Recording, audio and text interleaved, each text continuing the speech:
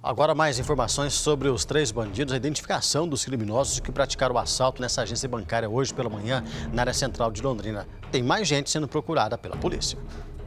A possibilidade de haver uma quarta pessoa envolvida no crime não está descartada pela polícia, que já tem novas informações.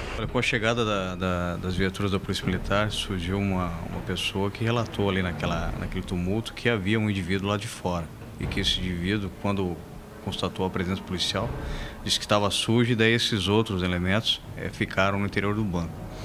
Então, diante dessa, dessa informação, dessa suspeita, a P2 nosso está fazendo a, a, verificação, verificou nas casas deles e a Polícia Civil com certeza fará um trabalho investigativo aí para ver se localiza esse suposto quarto indivíduo. O assalto aconteceu na manhã desta quinta-feira, nesta agência bancária, na rua Guaporé, na Vila Nova. Clientes e funcionários foram rendidos e quem chegava de surpresa era obrigado a cumprir as ordens do bando. Cerca de 40 pessoas foram feitas de refém. Os bandidos se preparavam para levar aproximadamente 300 mil reais em cheques quando a polícia chegou. Após a liberação das vítimas, os assaltantes se entregaram.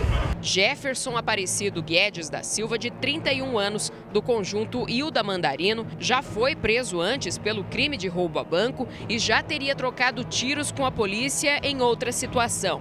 Reinaldo Pinheiro Faria, de 23 anos, do Parque Ouro Verde, já tem antecedentes criminais por roubo e tráfico de drogas. William da Silva Cômoro, de 29 anos, também foi preso.